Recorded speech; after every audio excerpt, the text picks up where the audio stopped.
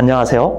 이번 에듀스팟에서 AP 바이올로지 강의를 맡게 된 손동민입니다. 어, 저는 서울대학교에서 생명과학과 화학을 복수 전공을 했습니다. 여러분들에게 AP 바이올로지를 즐겁게 한번 가르쳐 보고 싶은데 AP 바이올로지에 대해서 여러분들에게 한번 간단하게 한 줄 요약을 한번 하고자 합니다. AP 바이올로지란 과목은 결국 대학 과정에서 배우는 바이올로지를 여러분들이 먼저 이수한 다음에 그 과정을 토대로 시험을 치고 대학에서 크레딧을 받아라 라는 게 AP 바이올로지의 요지입니다. 여러분들이 대학 과정이라는 단어를 듣자마자 살짝 겁이 날 겁니다. 대학 과정이라니 어렵지 않나요, 선생님? 솔직하게 말씀드리자면 어렵고 어, 가끔은 제가 볼 때도 와 이렇게 어렵게 가르쳐야 할까라는 고민이 저 스스로도 들기도 합니다. 이때 어, 제가 어, 저의 손동민의 강의를 듣게 되면 어, 여러분들의 AP 바이올로지가 마법처럼 쉬워질 것입니다. 라고 하면은 사실 그것은 거짓말이 될 것입니다. 왜냐하면은 어, 여러분들에게 쓰디 쓴 약을 먹이면서 내가 달다고 아무리 속여봤자 여러분들이 그 약을 쓰다고 느낄 것처럼 제가 아무리 AP 바이올로지를 쉽다고 우겨봤자 사실 여러분들은 어렵게 느낄 가능성이 높습니다.